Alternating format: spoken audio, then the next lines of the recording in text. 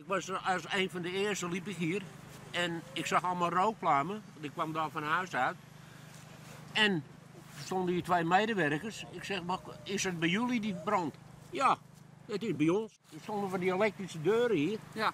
Die gingen maar open en dicht, open en dicht. Hij was van slag af. En één bak rook.